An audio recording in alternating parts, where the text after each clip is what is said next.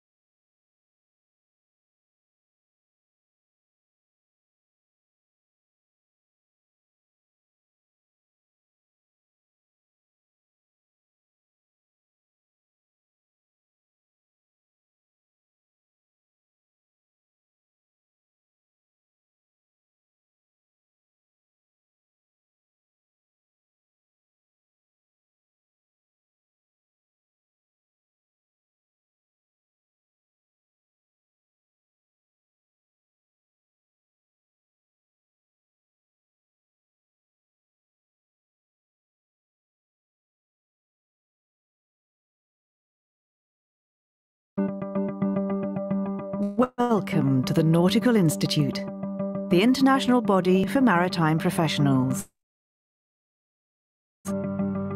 Helping our members to develop their knowledge and professionalism lies at the heart of what we do.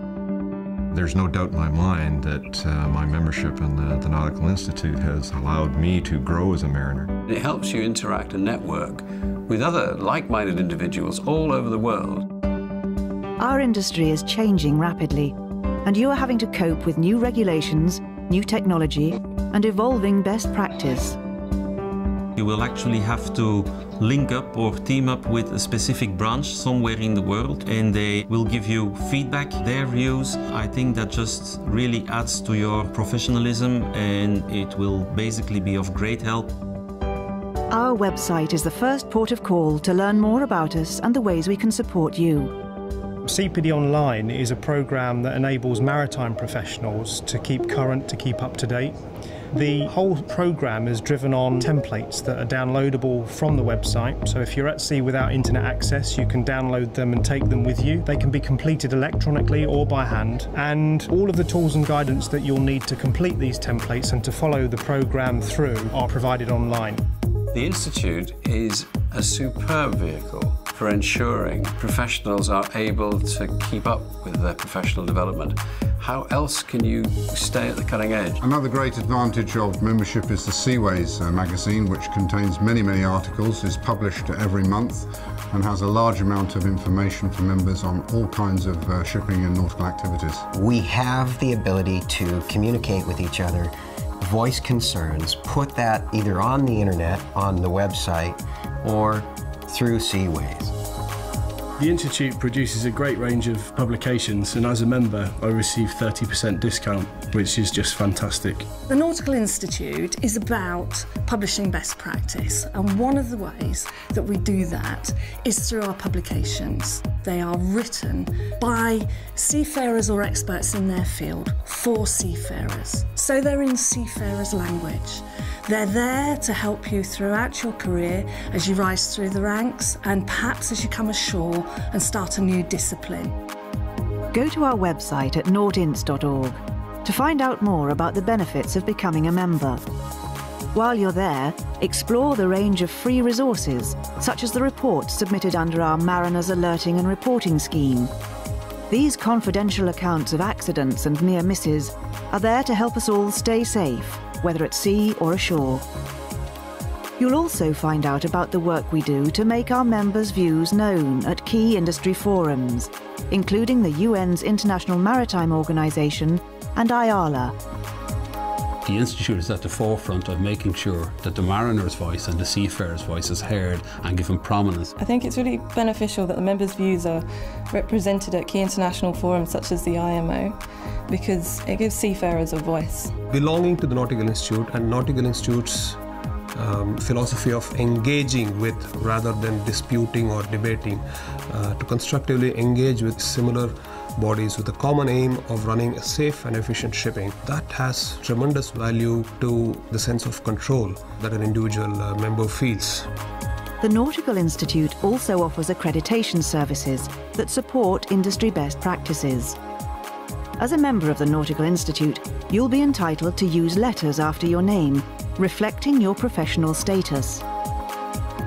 Having that experience, having those letters after my name, having the credibility of being a member of the Nautical Institute really helped me in my career. Gave me an indication as an employer that the candidate was serious about the industry he was working in. You'll also have access to a dedicated members area on our website that includes discounts on entry to leading industry events. There is so much we can offer as a Nautical Institute. Our seminars, our conferences are absolutely top notch. I got the value of being a member of the Nautical Institute, particularly through networking. I needed to meet these people to advance my career. Run by members for members, the Nautical Institute provides you with the ideal framework to support your professional role within the industry. Want to know more? Email us at member at nautinst.org or call us on 020 7928 1351. That's London, so dial country code 44 if calling from outside the UK. We'd love to hear from you. We have a tendency, uh, mariners do, to believe that our way in our little part of the world, this must be the only way to do it. And of course, there's there's a thousand ways to do it, and and that broadening of our horizons, it's good for everybody. The Nautical Institute provides that platform. It's a wonderful organisation uh, which has an outreach which is worldwide. Without the Nautical Institute, I don't think I would be the mariner I am today. As an international, independent, and self governing body, the Nautical Institute is here to serve you throughout your career as a maritime professional.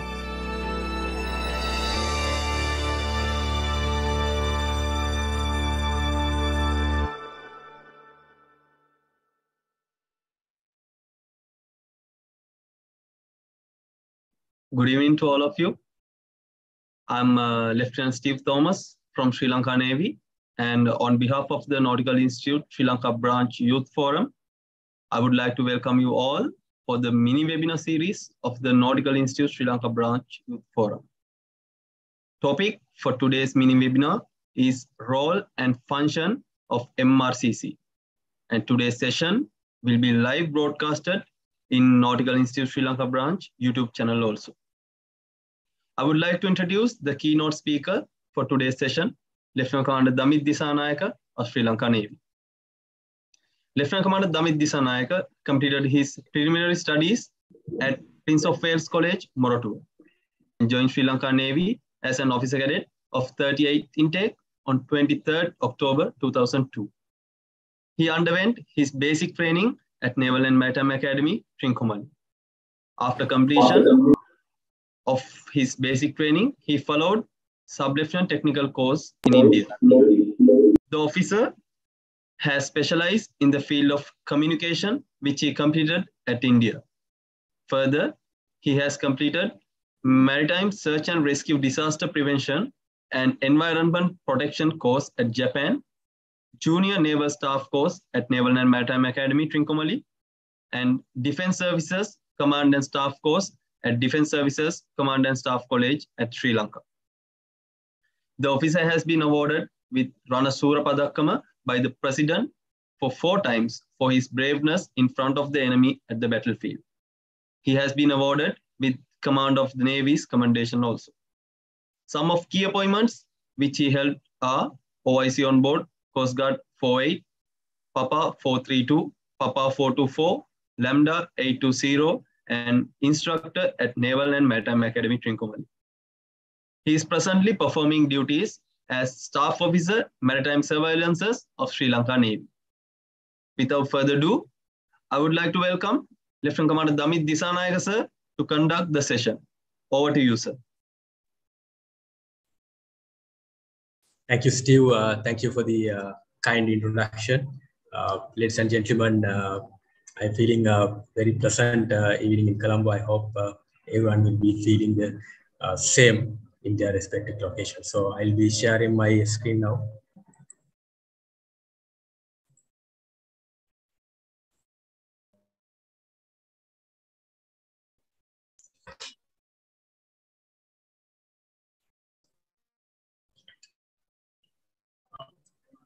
Once again, good evening, uh, ladies and gentlemen. Uh, now, for next 30 minutes or so, I'll be speaking on uh, role and the functions of MRCC. Now, in the subject field that uh, we'll be discussing today, uh, you will be coming across a term RCC and with a number of variants of it. Uh, you will find MRCC, ARCC, uh, JRCC and uh, RSC also. So what are those? So first we'll understand what these terms are. Uh,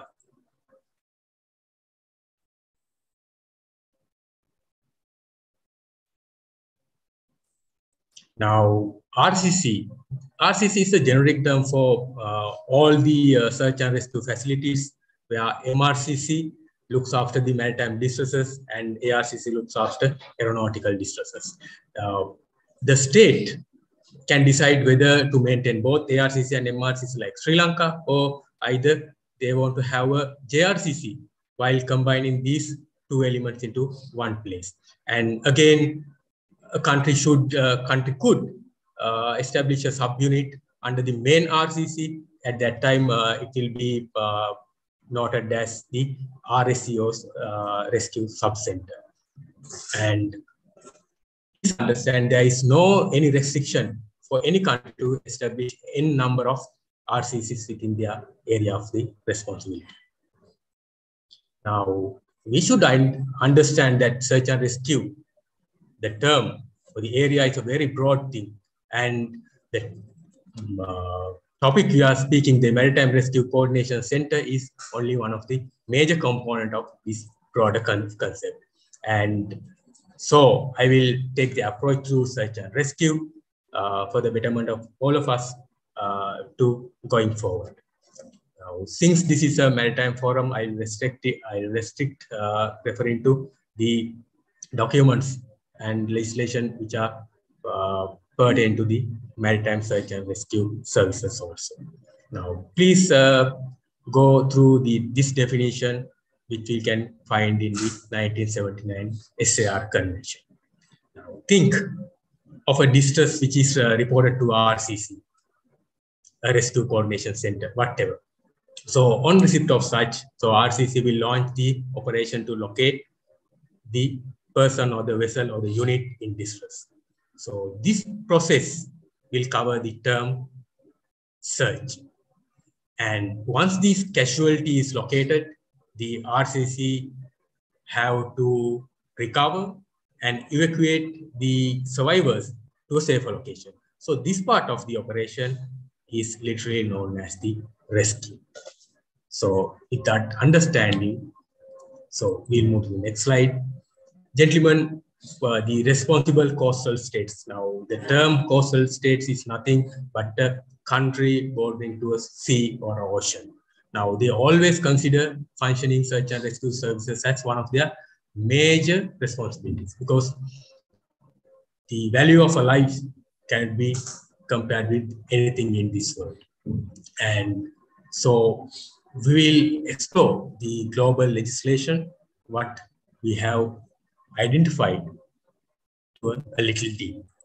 Now, the world has identified the necessity of uh, promoting the safety aspect of maritime services aftermath of MS Titanic disaster, which taken place in uh, 14th April 1912. So then the Safety of Life at Sea Convention of the SOLAS was established in 1914 as a uh, immediate remedy or the measure, and it was superseded by its latest variants in 1929, 48, 60, and 74. So this convention, if you go through, you will identify that majorly talk about uh, minimum requirement of uh, ships construction and uh, equipment to carry and the various uh, operations the ships should be engaging in. However, the regulation 7 of the chapter 5 describes the responsibility of a contracting government of uh, to function a search and rescue service which you can go through on the screen.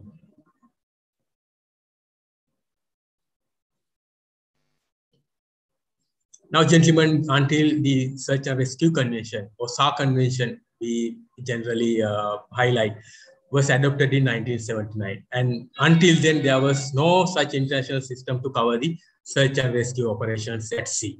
So the practitioners consider this as the Bible of uh, maritime distress response mechanism. And the main aim, the main aim was to establish an international search and rescue plan Um, it was aimed at ensuring a coordinated SAR effort to save anyone at wherever they were distressed at any part of the world oceans.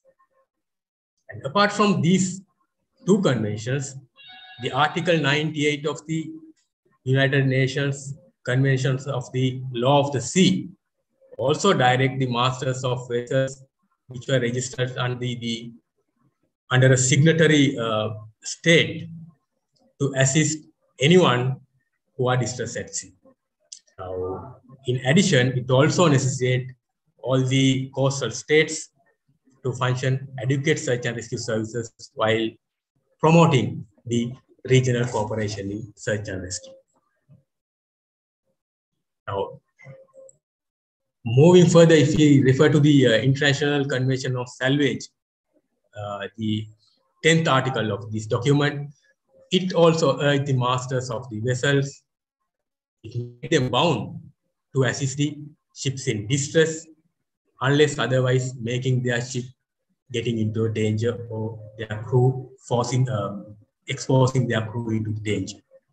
And uh, in addition, they also direct the state who are party to this convention to make necessary uh, means to ensure uh, this requirement is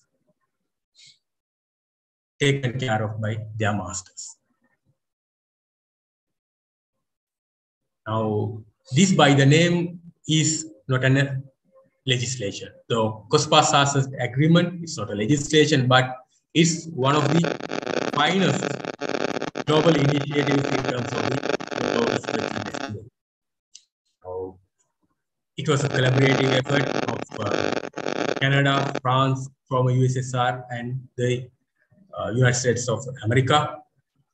Uh, it was aimed and it's ongoing as a satellite-aided distress locating system. Now, the agreement we are talking about, the talking about it ensure the long-term functioning of the system and worldwide uh, dissemination of uh, distress data and the location without any discrimination and support the international search and rescue effort as much as possible and finally to define the means which the parties could coordinate with this system. Gentlemen, uh, after adopting the Search and Rescue Convention in 1979, the International Maritime Organization's uh, Maritime Safety Committee, or MSC, divided the world oceans into 13 search and rescue areas. These are search and rescue regions. And thereafter, the relevant countries in these areas were uh, permitted to delimit their own area of responsibility in terms of search and rescue. So that is search and rescue regions. Now, when the process going on, the plan for Indian Ocean was completed in 1998 uh, during a, conference held at uh, Western Australian uh, uh, city. And uh, through that, we were gifted the search and rescue region we are enjoying or we are being responsible on today. So uh, seeing at this, it's uh, 27 times larger than our landmass and the furthest point is uh, nearly 820 nautical mile from the our southern coast. Now, please uh, go through this definition which we be uh, finding uh, in uh, SAR convention. So you may identify a search and rescue region have a predefined dimension as well as should be assigned with the uh, rescue coordination center. Now, this is the point. Now, we can start talking about the MRCC. Now, I know that my audience is now very uh, conversant with the uh, RCC's types of. So what is RCC or MRCC or ARCC? What is So what's your opinion? Oh, gentlemen, it's nothing but a operational facility that you may find in the Navy, these uh, operation uh, uh, operations rooms or the port control facilities of a harbor.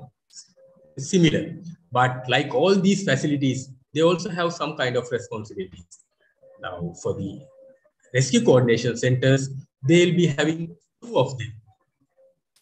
The first one is to promote SAR service organizations within their search and rescue region. And the second one is to coordinate the search and rescue operations which are conducted within their search and rescue region or the area of responsibility.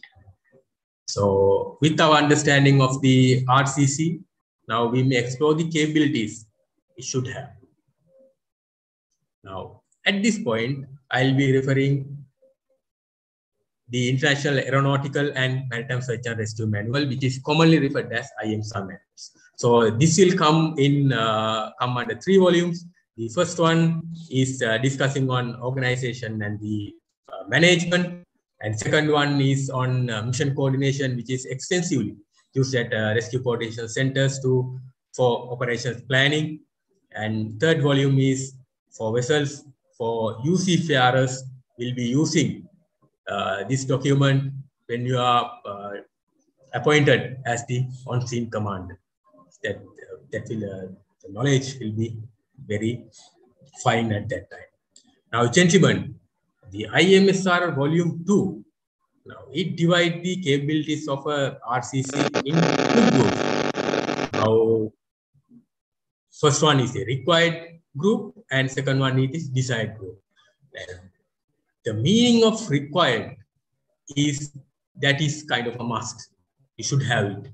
And desired is it's better to have. Now, with that understand, we'll move what are the capabilities that uh, this IAMSAR volumes uh, needed of a RCC.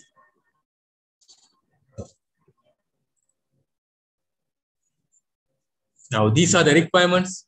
Now, since we no one knows uh, when and where uh, distress will be taking place, so the facility should be run for complete 24 hours or the around the clock. And then it's required to be manned by a group of trained personnel on search and rescue because this search and rescue is associated with a process that involved with certain procedures that you have to follow. And again, during the search and rescue operation, the RCC require to communicate, communicate with the unit in distress, the person in distress, and other stakeholders also.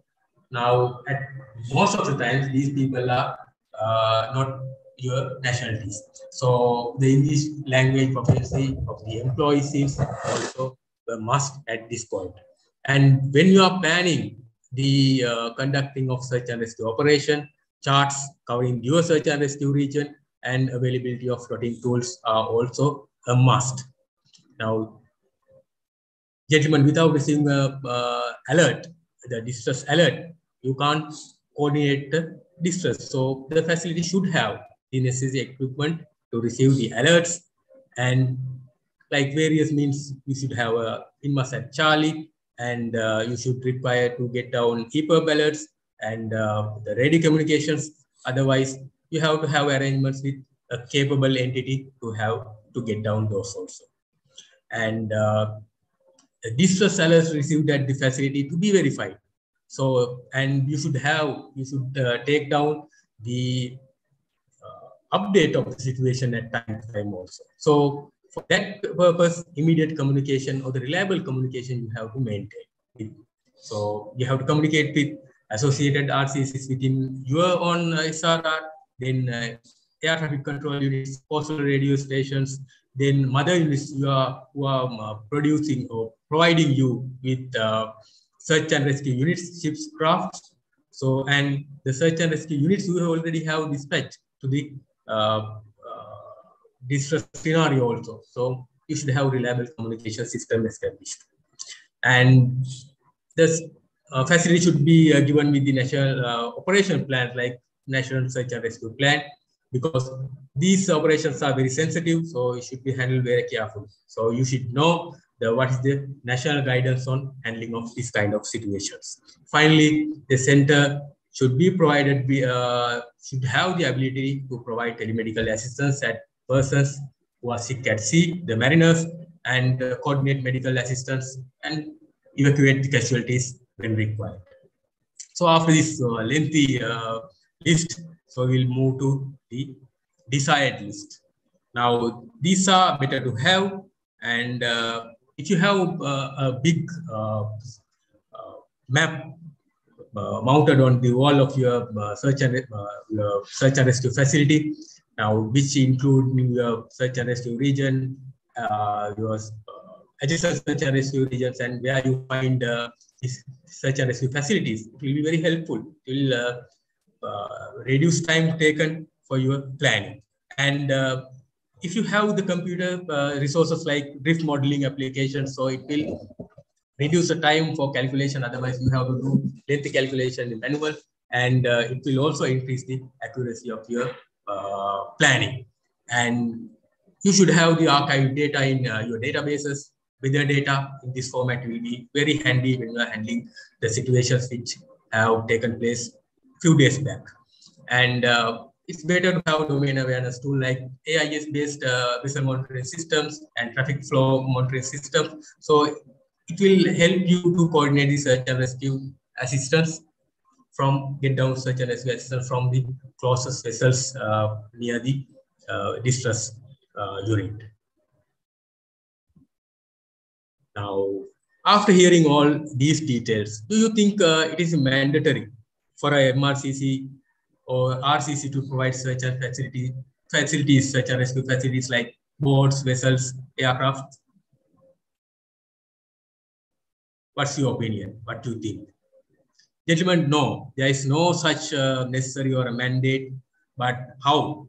Uh, however, if you have such capabilities, it will be added value always.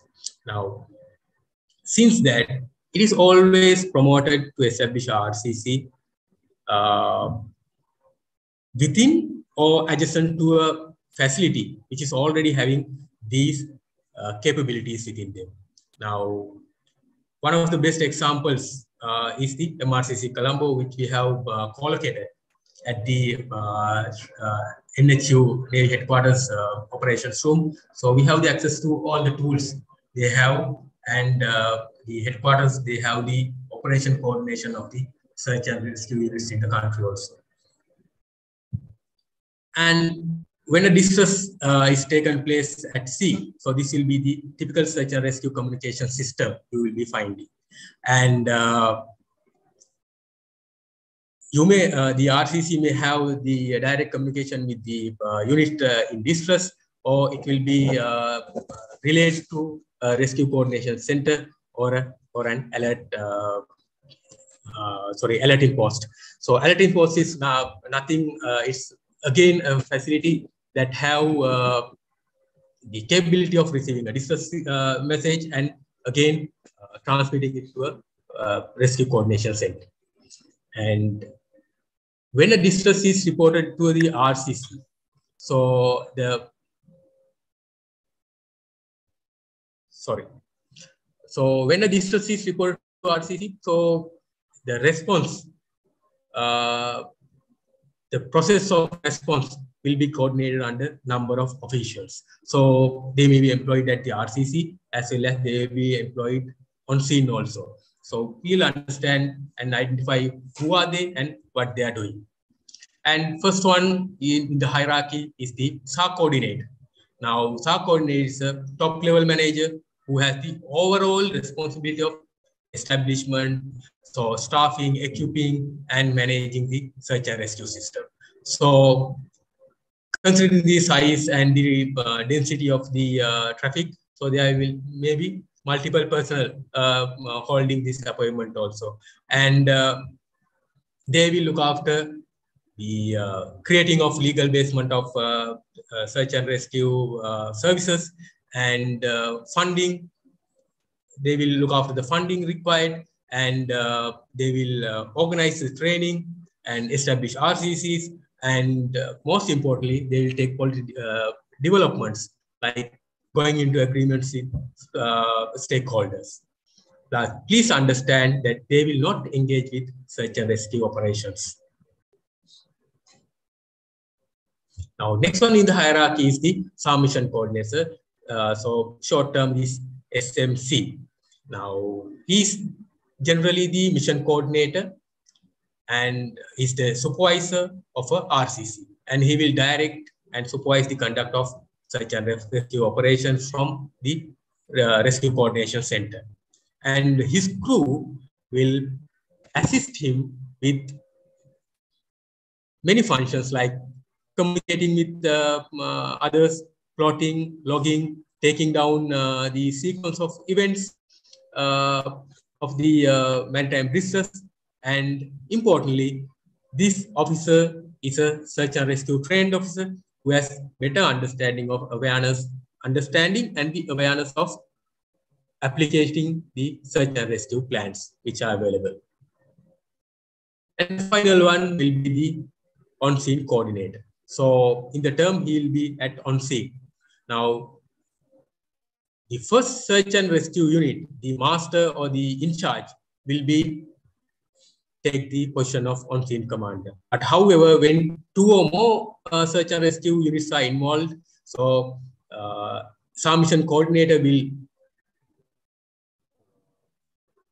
uh, decide to whom designated this uh, position is. Now he will think about the endurance of the vessel, master's experience and the training uh, before uh, dedicating, delegating this appointment.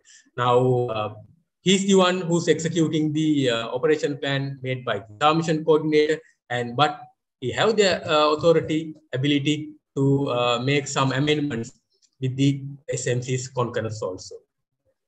Now with all this understanding, uh, so we'll uh, go through this flow chart, uh, which is denoting the search and rescue procedure.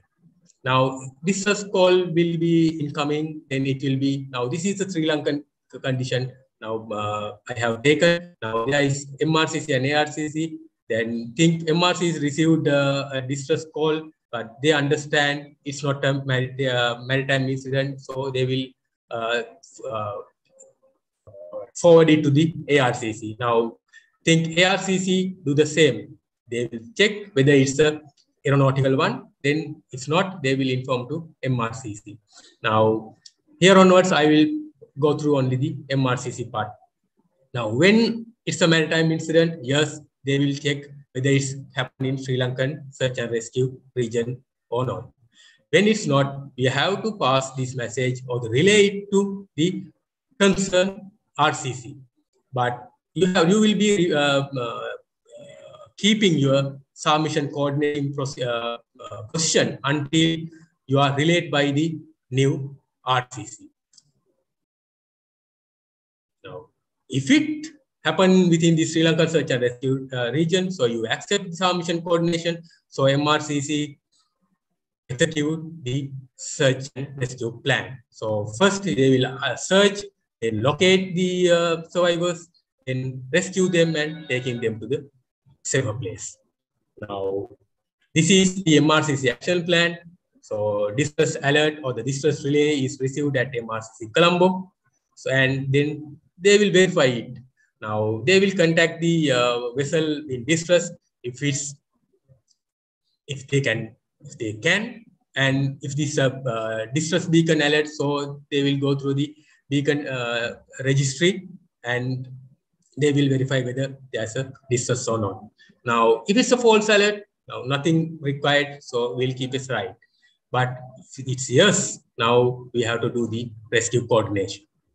Now first thing we have to take uh, down all the information. So we'll uh, uh, call the ship and take down uh, take the ship and ships nearby. We can get down the information and rcc will start collecting meteorological data where it will be very helpful later.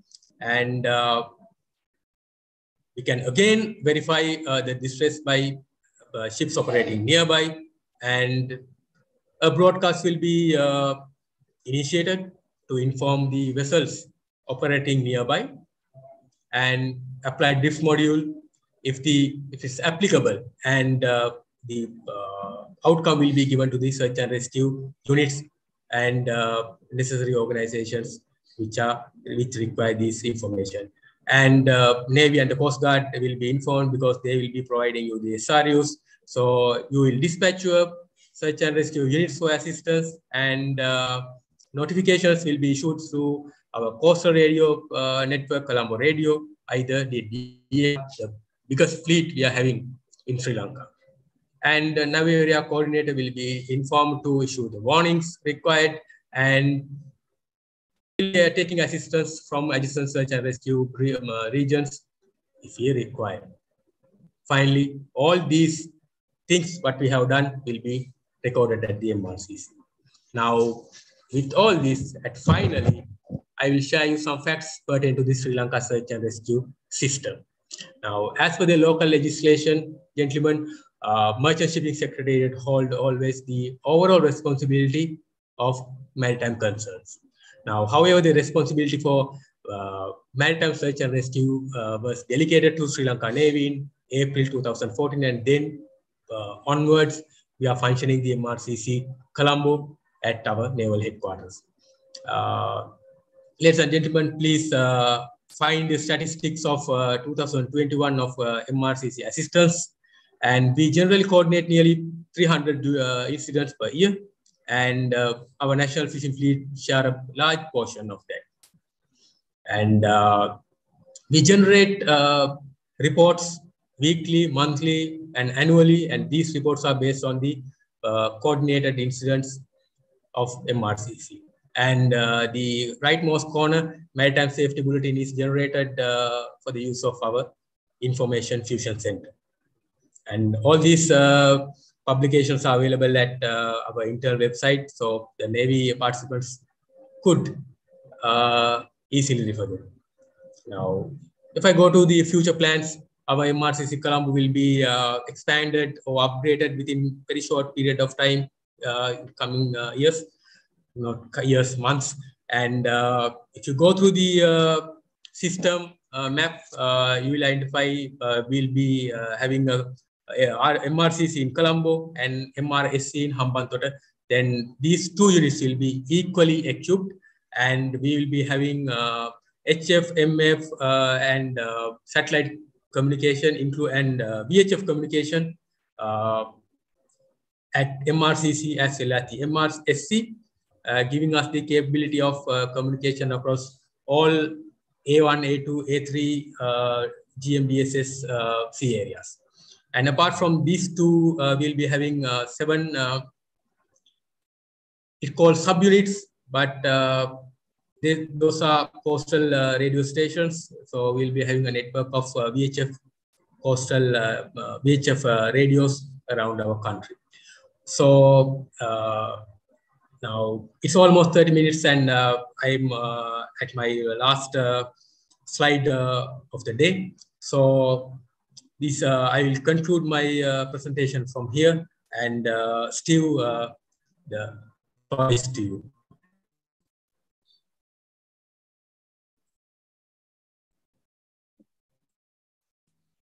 Uh, thank you very much, uh, Lieutenant Commander Damith Dissanayake, sir. Uh, it was a great session, uh, which included uh, many details regarding the MRCC and its functions. so as we understand, it's a vast topic, but thank you very much, sir, for your effort to summarize this session up to 30 minutes, which has to be fitted to our time frame of the webinar.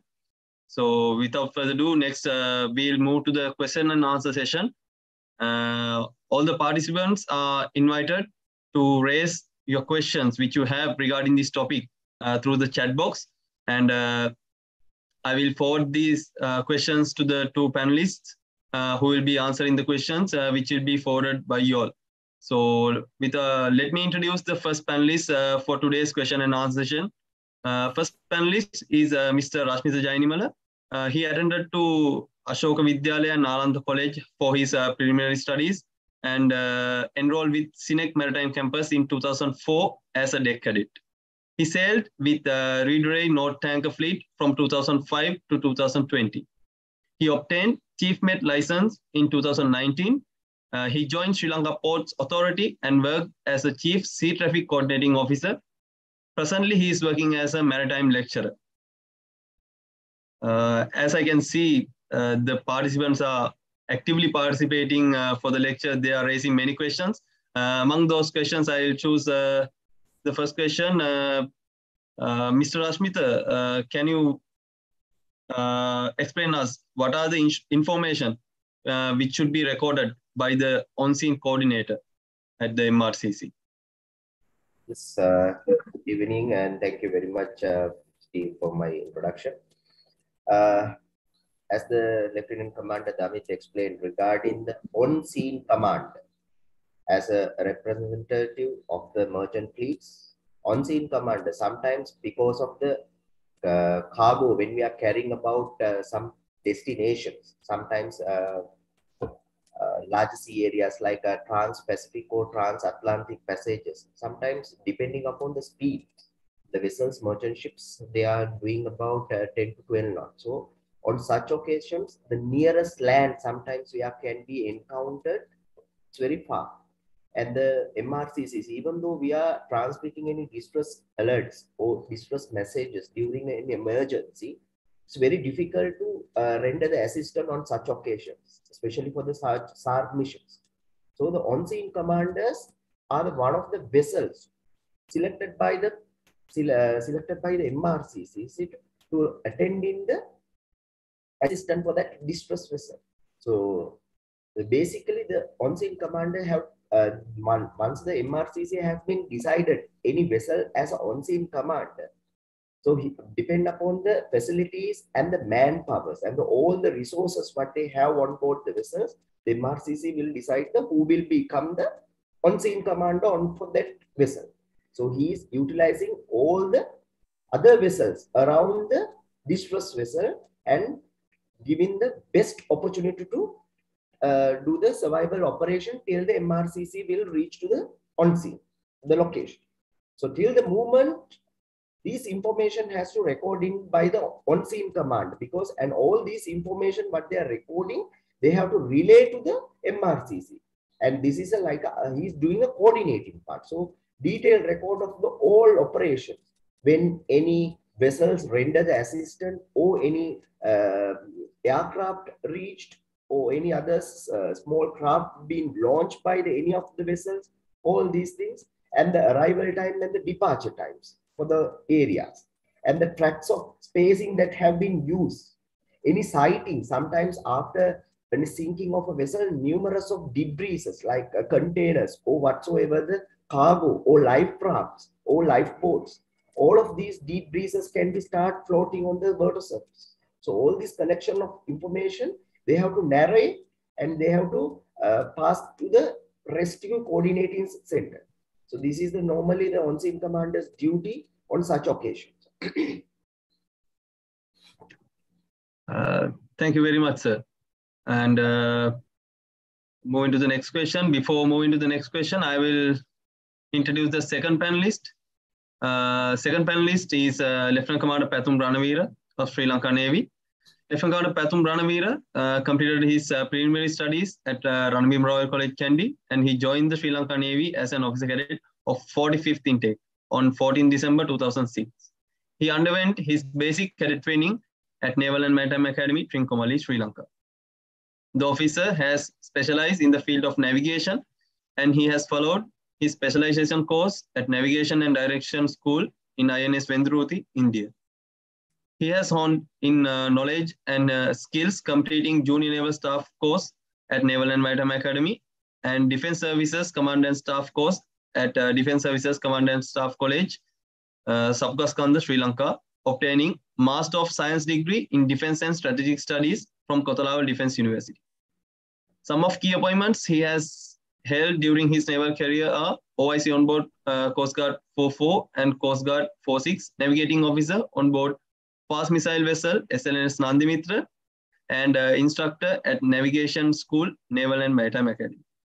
Currently, he is performing duty, duties at the Direct, Directorate of Operations at Navy Headquarters as Acting Senior Staff Officer, Marine Conservation and Monitoring Unit, Staff Officer Operations and Supervising Officer, OBST Operations.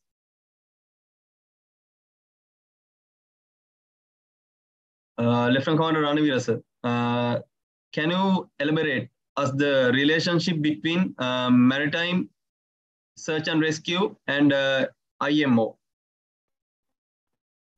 Uh, gentlemen, uh, wish you all a very good evening and thank you, Steve, for your very kind and beautiful introduction.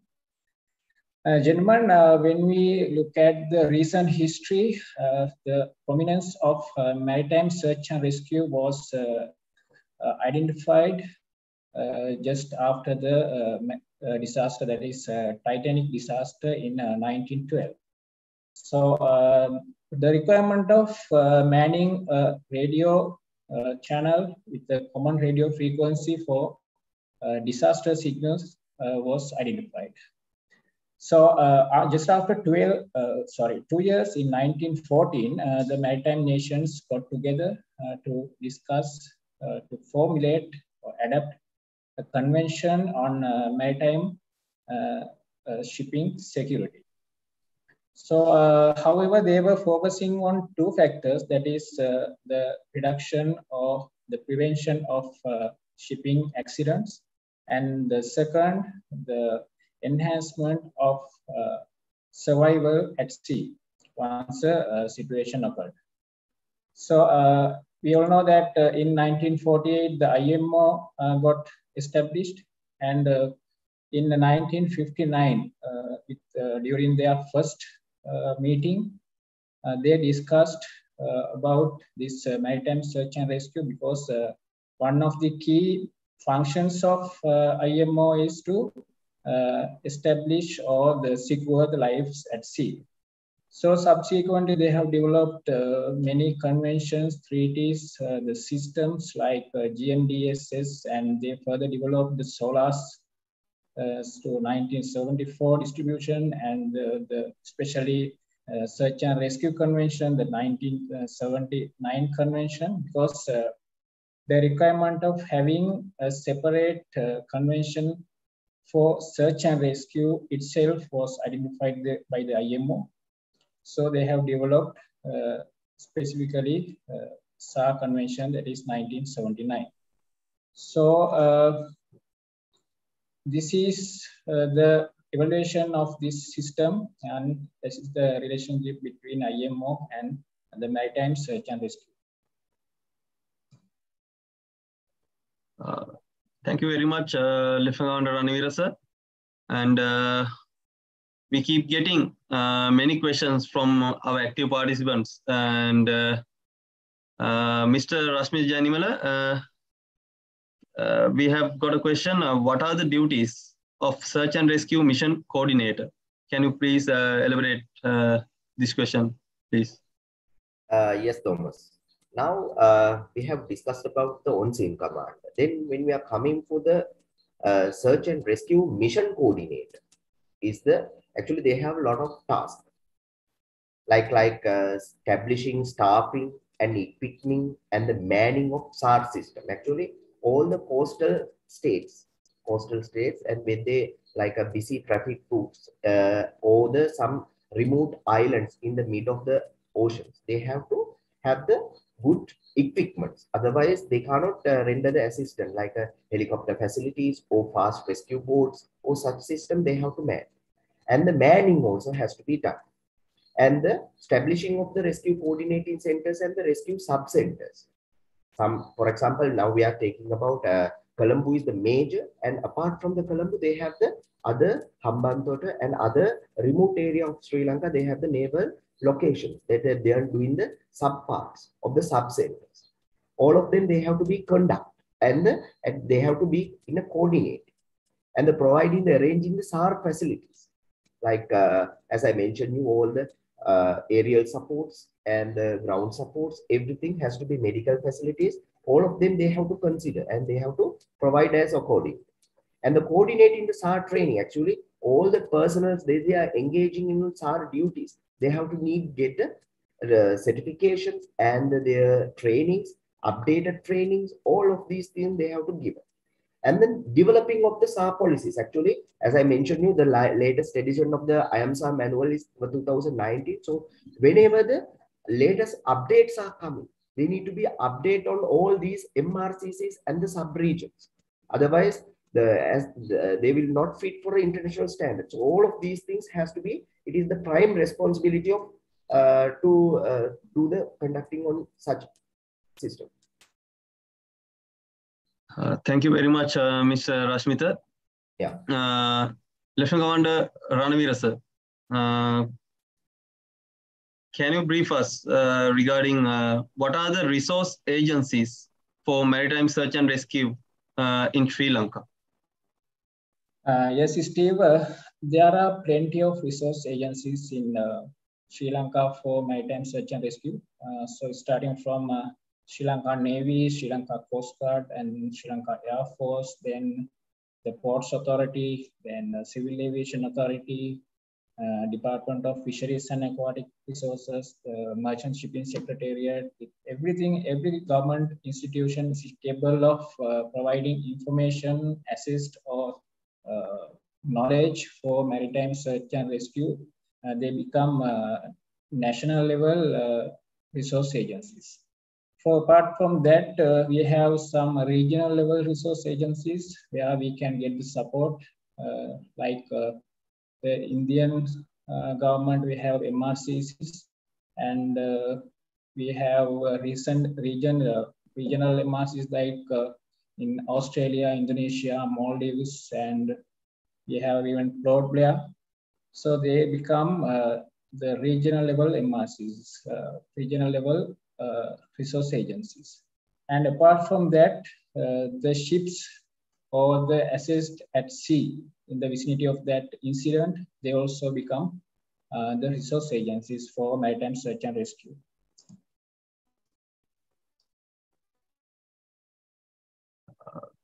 Thank you very much, sir. And uh, uh, Mr. Rashmita, Uh, can you brief us the role of the on-scene coordinator? Yeah. Yes, Thomas. On-scene coordinator, on-scene commander. The both words are same. Sometimes it's uh, defined as on-scene commander. As I mentioned you earlier, sometimes the distresses are at the mid of the ocean. Uh, for example, as the Lieutenant Commander Damith explained, then from the Sri Lankan coast to the furthest away, the reaches the furthest away, the point on our coverage area is 840 nautical miles. That is when we are converting to the uh, kilometers, it's uh, close to about uh, one, uh, 1,555 kilometers. Normally, all the vessels are unable to reach on such speed at an instant. Even they have the helicopters. If they engage with the helicopters, the fuel sufficient is not the fuel is not sufficient to reach to the distress location at instant. So one of the either merchant vessel or any defense vessels close by to the distress vessel has to be appointed by the MRCC that till the MRCC assistance will be coming to the right location, till the moment they will be conducting all the duties of the MRCCs, which is uh, instructions provided by the MRCCs. And they can engage with other vessels. So these are the, actually, this is the role, what they're doing. But when we are coming to the actually some countries, we are not only the because the merchant ships not only trading in our around the coast, but when we are going for US waters, as per the US Code of Federal Rules, CFR rules, it's clearly defined not only for the search and rescue operations, but also for the environment because they had the huge impact with the Exxon Valdez after that incident. So much of rules they have been changed. The some of the countries they have the different rules on the territorial. They have the different inland rules. They will be conducting the on-scene commander even for the pollution prevention duties also. Not only the SARS but also the pollution prevention duties also.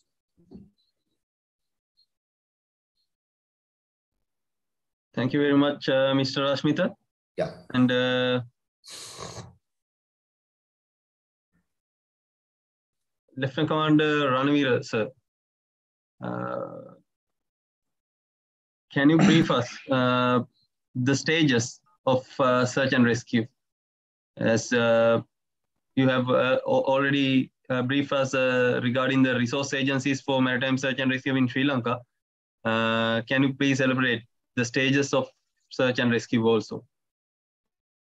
Uh, yes, Steve. Uh, actually, uh, there are five stages of search and rescue. first, the awareness stage. So this is the stage where the knowledge of any person or any unit is having on the likelihood or the immediate threat of occurring uh, maritime disaster. So in this situation, uh, the factors may be uh, getting developed uh, like the weather conditions or the technical conditions of vessel may be developed that uh, which can be uh, developed to a disaster in a recent future. So the uh, second uh, stage, it is that uh, initial action stage. So in this action stage, initial action stage, uh, the communications will be established with the required uh, parties and uh, like uh, if you have a, a contact to uh, get the information from the regional uh, vessels or any other entity. So the communication will be established and amplified data will be collected. And if it is an urgent situation, so the immediately the planning and de uh, deployment will be done because uh, we need to uh, respond quickly and promptly for very urgent situations. So then the third stage is that the planning. So the development of planning, uh, development of search and rescue uh, patterns and the vessels taking part and how we are going to establish the communication and the requirement of getting the international support. This everything will be planned during this planning stage. Uh, then the operation stage. So this is the uh, stage where the actual uh, deployment or the dispatching of SRUs occur.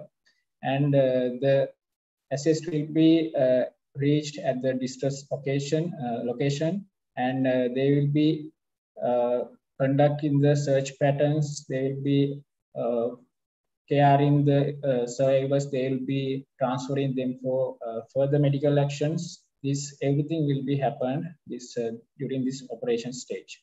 Then the final stage is that the mission conclusion stage. So at this stage, uh, the SRUs will be recalled and they will be remanned or refueled and uh, they will be re, uh, debriefed and we kept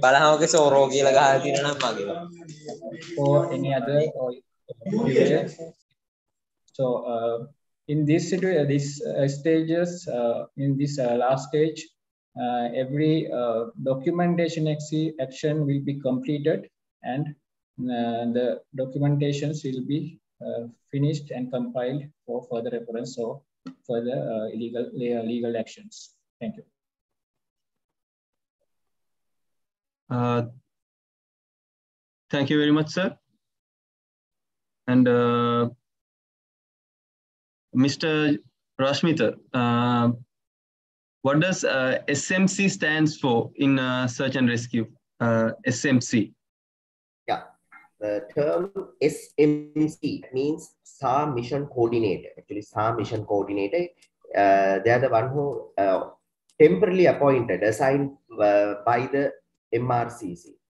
Actually, uh, till the that same, but uh, on scene command, as we explained, they are the one who at sea, but the SAR mission coordinator, it's a land based, but they are officially temporarily assigned by the uh, MRCC during a search and rescue mission. So actually, they have this uh, some kind of duties. Actually, they will be the observing party of the evaluating all the data on the emergency and that whatever the data is transmitted by the on-scene commander, they will gather all these information which are coming about this distress situation from the all uh, around the corner.